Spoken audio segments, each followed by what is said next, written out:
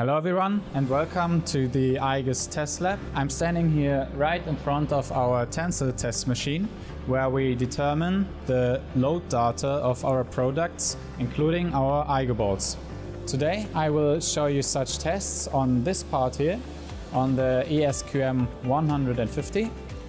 The main force on this part is the weight force of the solar panels which act as a radial pressure force. And to show you how we measure the maximum load capacity, I have prepared a short test for you. At first, the adapter plate is mounted on the testing machine. The bearing is fixed on this plate.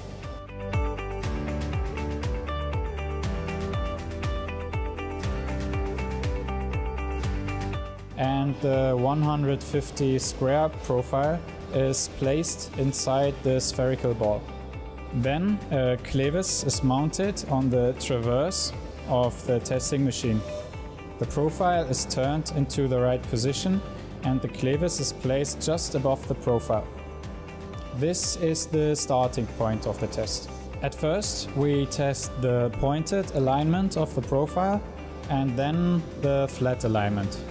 The next step is to set the parameters of the tests such as speed, preload and breakoff criteria and then we start the test.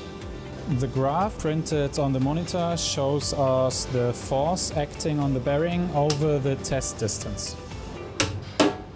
As you have noticed, the part has broken in the lower corner of the spherical ball after the first test, we mount a new bearing and carry out the test with a flat alignment of the profile. The setup and the settings remain the same and we start the test again.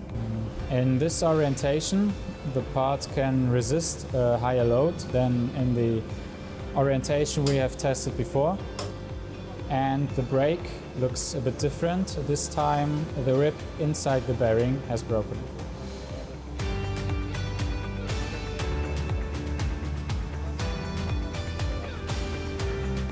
The damages of the parts are now being assessed to draw possible conclusions for future developments. These were the two tests I prepared for you. As you could see, the orientation of the profile has a huge influence on the results. It's a big difference if you press on the flat side or at the corner of the profile. If you want to see the results of these tests, including a safety value, you can take a look at our homepage or inside our catalog. Thanks for watching and see you next time.